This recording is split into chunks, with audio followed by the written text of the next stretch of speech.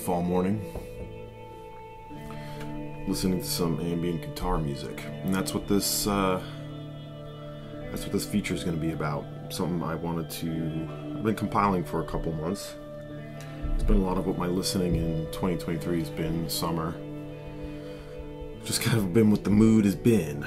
So what is going on with this? Yeah, this is primarily ambient music made entirely with guitars or a guitar, solo guitar, if you will. In times it is heavily processed at times. Yeah, we're not talking about, you know, acoustic music or American primitive here.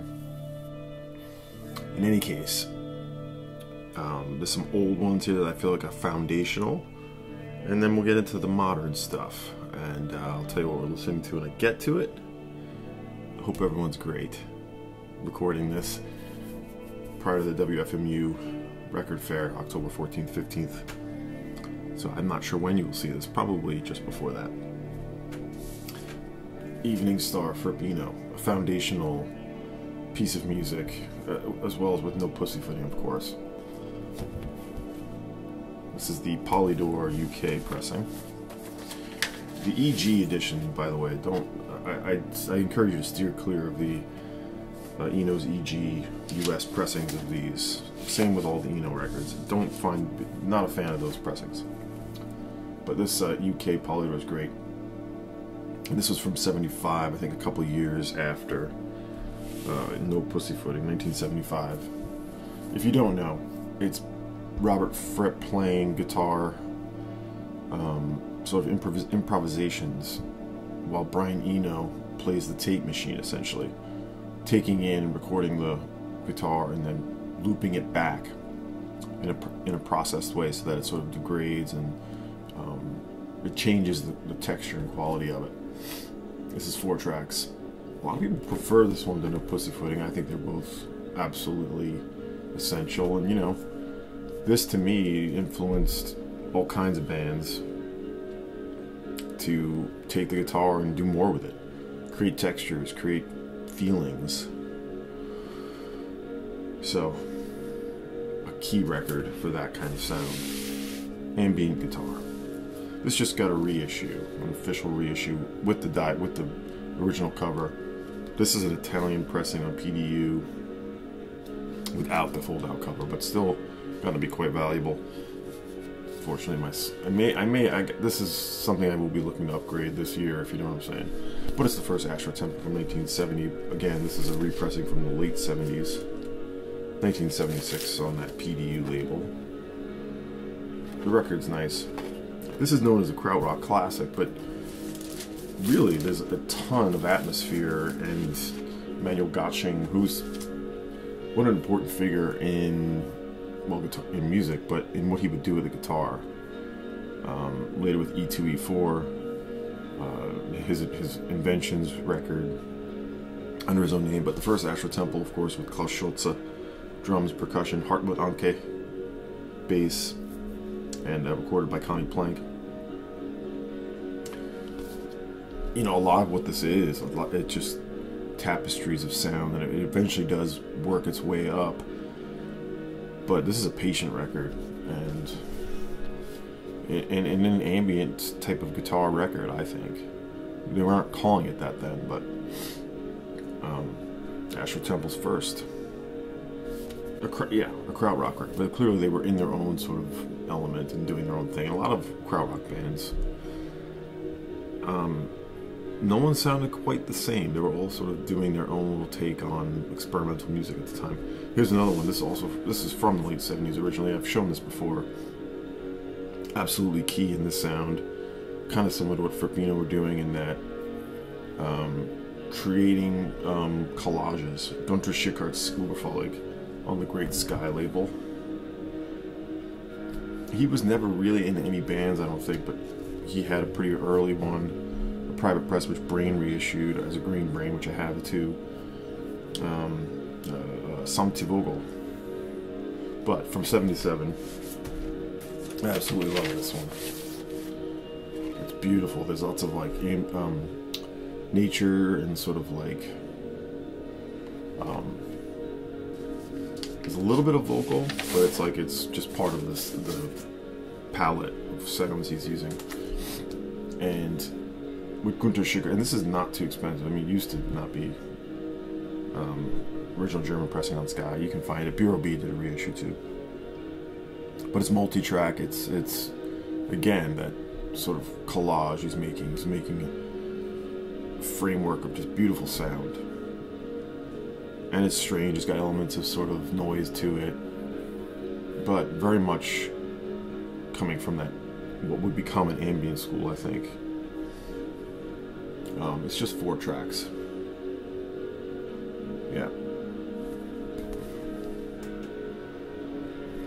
Very cool guitar player. These are the kind of guitarists that I personally am most influenced by. Ones that are sort of broadening what you can do with a guitar, not so much sort of living in the same, you know, worn pathways of what the guitar does, playing blues licks. Not that there's anything wrong with that. Everyone should like what they like. But for me, I like to see what the guitar can do, um, how it can be processed and sort of mutated. Gunter Schickert, Uberfallig. And now we'll get into some other ambient guitar records, some more modern stuff. Coffee time. I'm trying to be a little bit on the soft side, a little quiet. It's a quiet morning. No one's up yet. That's what I'm getting at. So this is what we're listening to. Carl Hultgren. Who is Carl Hultgren? Oh, it's signed by him on the back too. One half of Windy and Carl, the great uh, Michigan drone experimental duo, who I find to be key players in this sort of um, cosmic guitar sound that I like so much. And he's basically the one responsible for this sound. Windy does a lot of the vocals and the bass sort of drones. But this is his only record under his own name. You can get this on the Windy and Carl Bandcamp site right now for like 20 bucks. It's super good. It's from 2014 on their own Blue Flea label. Windy and Carl, I've been, had been into for many years ago and only had a couple of records. And this year I've been all in on them. Um, still a few I need. But anyway, guitars, percussion, keyboards, and Home Sounds by Carl Hultgren, recorded 2011 to January 2013. Um, yeah, they're from the um, what Dearborn area of Michigan, I believe it is. They had their own label. I'll talk about more of them in a second. But this is Carl Hultgren, you know, partner of Windy, Windy Weber, double LP on Blue Flea. Just this gorgeous stuff that you're hearing right now. Is there a title for this record? Oh yeah, Tomorrow. It's called Tomorrow. And this band has been making music since the early 90s. Uh, highly worth checking them out. Windy and Carl this Carl Hultgren. Check, I'm going to link to the Bandcamp site if anyone wants this. You can grab it right now. It's a beautiful album, double LP. I highly recommend it. And here now, one of the records I most was looking for this year. I'm going to show this again in the Show Your Sets video I'm going to do for James Buttery, but I want to show the sets and show the series of the Bliss Out series, Darla, the San Francisco label that was basically taking indie bands and saying, hey, send us, be a part of our ambient series in a sense. And that's what this is. And this is Windy and Carl's version, Antarctica, maybe probably their best record. Um, from, what is it, 96? I forget, 96, 97, 98 years not in front of me, but. Now this one is on the Bliss Out series, as I mentioned. And it is just absolutely sublime. Sort of a drone ambient, but all done with guitars. And it's it's volume two in the in the Bliss Out series, Antarctica. A little, real quick, I, I I was getting into re-entering their world, and this record I saw was kind of on the expensive side. I was waiting for it to come down, no new copies. All of a sudden, the copies start disappearing, and I started getting like, oh my god. I ended up buying the last available copy in Europe. Was it Germany? I forget, uh, Germany or the Netherlands. And it was more than it had sold for yet. Not it wasn't like someone asking 10 times it, but it was like, okay, now I'm going to be spending way more than I could have for copies that were in the US that are now gone. I decide, you know what, I may never see it again. And sure enough, no copies have been listed since I bought this in June. So that's one of the cases where I don't feel too bad paying up for it, but I absolutely do not mind because this is a special record. The first the first track, Antarctica, will just absolutely floor you. The bass drone on that, and then the Carl Hultgren's guitar, just pristine and beautiful. But it's not so beautiful. It's actually gritty, kind of, and um, like I said, there is a droning noise element to it too. But it's just spectacular music. Windy and Carl's Antarctica, Volume Two, right? Yeah, Volume Two in the Bliss Out series, which I'm gonna show, do a feature on for James Buttery. Another key artist over the last 15 years is Grouper, Liz Harris, out of Portland, Oregon, and um, she's slowly kind of taken her sound into other realms, I think. But it's early on; it was always her guitar in a heavily effective way, huge pedals, um, and that's what this one is. Cover the windows and the walls. This is from uh, 2006, although it tells you the pressings on the back. First press 2007, second press 2009, third press 2012. That's what this is. What this is even now tough to get. And it's on the Root Strata label. And it's just her.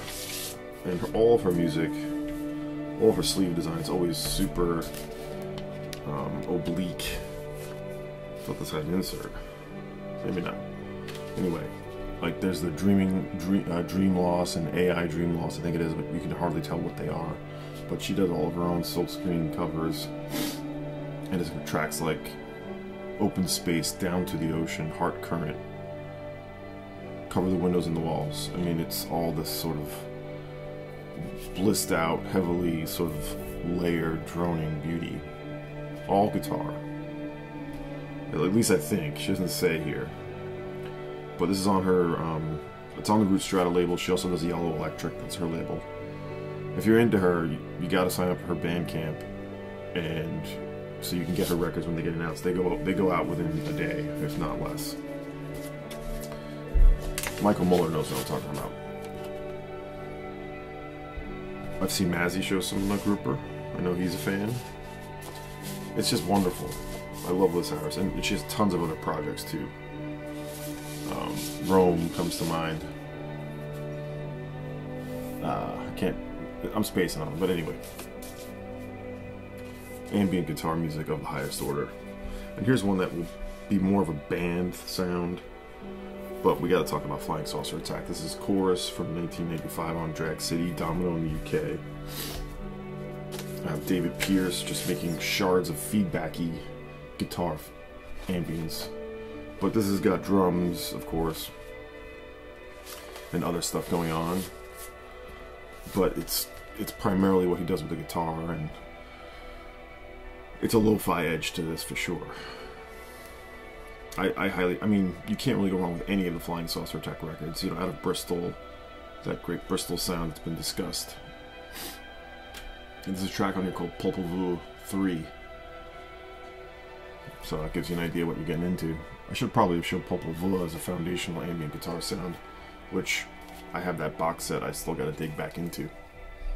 Let's just say that I, I recognize Popol. I recognize them. Beautiful band. But chorus. And yeah, there's a track on here called There Dub, and there's a sort of dub element sometimes to this heavily processed ambient guitar sound. Love it. Alright, here's one I know Stunty will approve of, if not others. He just played this on one of his streams. Inspired me to pull it out and add it to this. It's a transparent radiation 12 inch EP. It's really more of an LP with the length of it. There's a few different issues of this. I don't think this is the very first, but it is one of them. And I'm going to play some music by Grouper now cover the windows and the walls. This record originally from the late 80s, and I want to talk about it because of a few tracks that are included the Ecstasy Symphony and the flashback rendition of Transparent Radiation. Tracks 2 and 3 on this first side are absolutely godly. And it's it is interesting that this is a band that's sort of focused on repetitive droning guitar and psychedelia. But they would start sort of doing their own kind of beautiful, beautiful sound. It's primarily guitars that they're doing with, you know, I'm sure there's synthesizers at times, but I just, I like the aspect of the simplicity of just taking guitar into unknown lands. If you don't know, let's see. Sonic Boom guitar, feedback, and vocals, of course, Jason Pierce, or I'm sorry, Sonic Boom, Pete Kember. Jason guitar, Farfisa vocals, so there is Farfisa the bass man is doing bass vibrations. I believe that was um, mm, the bass player in this band rotated, forgetting his name, and uh, Roscoe percussion. But you have covers on this. Transparent Radiation is, of course, Red Crayola. Ecstasy Symphony is their own piece, which I said is beautiful. The flashback rendition of Transparent Radiation, need to hear that. Um, then you have Things Will Never Be the Same, their own track, which is awesome, and then the blown out version of Starship, MC5 Sun Ra edition.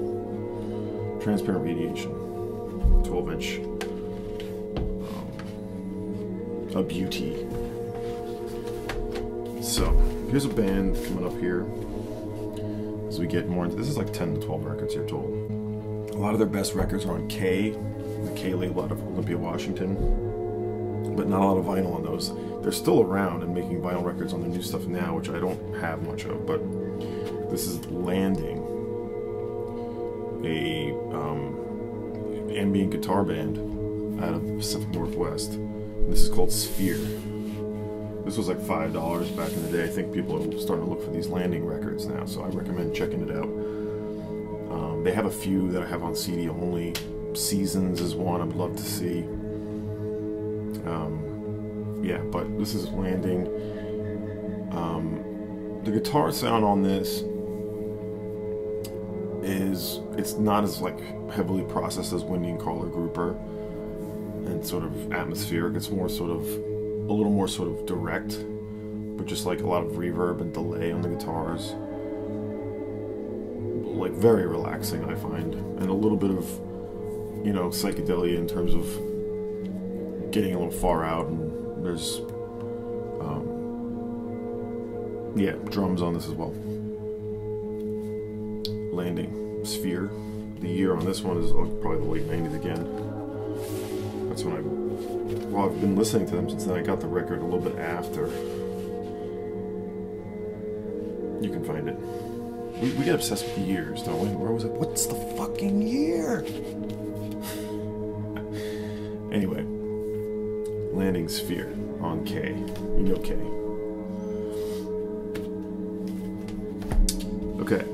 here's the only record I have by this art. No, not true. I do have some others, but this is an early one on the the great label Type, a UK label that I don't think is maybe still around, but they're not doing as much as they used to. But this is Love is a Stream by Jefre Cantu Ledesma, who also runs the Root Strata label I talked about earlier. Um, Ledesma started doing this project in 2010. And yeah, Type Records. I think Type Records, a lot of, there's some grouper stuff on Type. And a lot of more experimental, a little bit of electronic. I have, I have a bunch of stuff on Type. This one is, is Love is a Stream. This is like super blissed out and definitely gets into somewhat of the um, abstract territory. There's other things on here other than guitar, but there is guitar as a primary instrument. Yeah, it says here, all music by Jefre Cantu Ledesma, performed on electric guitar, Roland Juno 60, classic Roland, and effects, and some vocals by Lisa McGee. Additional analog processing by the Norman Conquest. Hmm. 2010. Love is a stream. Uh, this is not in print or anything. I don't know if it's been repressed repressed. We're all a little repressed, a little bit. Try not to be. There's my cat. You're enjoying the crickets again. Love is a Stream by Jefre Cantu Ledesma. A few more. We have to talk about Roy Montgomery, the great guitarist out of New Zealand, who was in a, a bunch of bands, including the Pin Group. And um, he started making his own guitar, solo guitar music in the early 90s. And this is maybe not his first, but it's his most acclaimed. I absolutely love it. It's Scenes from the South Island. This is a reissue. It's a double LP, 68 minutes running time. Um, from what is it, 95. It's from 1995. He started doing this stuff though earlier. Most of this material was recorded on a Tascam Porta 1 4 track uh, tape recorder in New York between 94 and 95. He did move to New York City. Um, and then mixed and mastered in Chicago, March 95.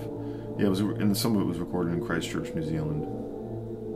But this is the Yellow Electric reissue, Liz Harris's label. Um, that was a couple years old now. It's a stunner. He's, I think, influenced Liz Harris for sure. Great sleeve design. Um, I gotta pull this out and listen to it again. I, I think with with um, I think Hamish Kilgour here. With Montgomery, you do have to check out some of his records are better than others, but what he does with guitar is special. Uh, this is scenes from a South Island from mid '90s, reissued I think two or three years ago on Yellow Electric. I don't know if you can get that anymore. Is this this might be crazy splatter? Yeah, yeah, I don't really. Maybe as a black vinyl version that's cheap. I don't know. But he, he definitely likes to overlay, overlay, um, overdub layers of sound and sort of shards of sound with what he does with the guitar. And again, it's that ambient beauty that, that you can you can get to with the right pedals and the right amps and everything. But I think it just requires a real sense of ex- exploration and the willingness to sort of be patient with what you do. And and you know reproducing a lot of this stuff probably isn't easy if they're playing live but who cares? Get the, get this thing on tape. Tape the way you hear it. Uh, no this is probably digital recorded well no that's not true. It's a Tascam. But a lot of these are probably stuff from like the early 2010s probably digitally recorded. In any case look up Roy Montgomery. I'm sure a lot of you are onto him. Um, see if you can find scenes from the South Island it is another one, and I, I, very important one, really, because he very much was focused on guitar, and he's got a lot of other records that are a lot of CD only that I, would like to get into.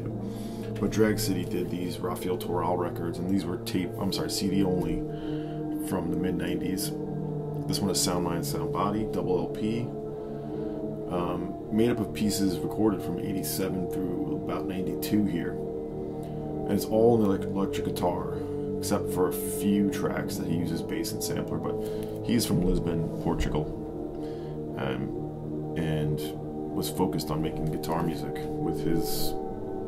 I'm sorry, was focused on making sort of uh, atmospheric music with guitar. And uh, yeah, nice inner sleeves on this. I've shown this one before, but there's a whole lot of background notes on this in there. Rafael Toral um, rebooted the ambient music paradigm with which had started strong with Eno's mid 70s work, but had been diluted by the New Age upsurge of the 1980s. This is the 30th anniversary.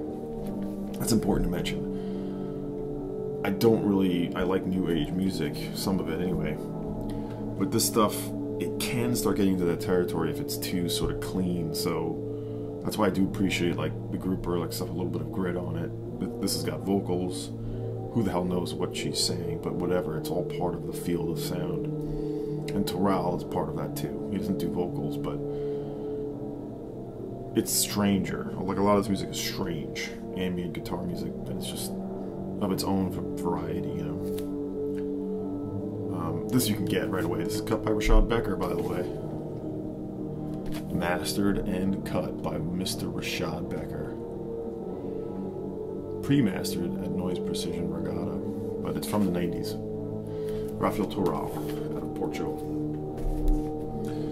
I hope that was fun. if anyone wants to respond to this, I know there's tons of stuff I, I probably even have that I didn't consider, but this is sort of what I what came to me thinking about this theme and what I've been listening to in 2023. And I'm sure there's more stuff in Europe that I'm not including. Um, I don't know, would like to know. So feel free to respond in some way or in the comments or make your own video. I don't know. But yeah, I love this sound. I'll be listening to it for the rest of the day probably. So um, that's going to do it. More to come. I got a new vinyl in my life to do. I got a bunch of good stuff that's coming. And I hope you are all well, and I'll see you in New York.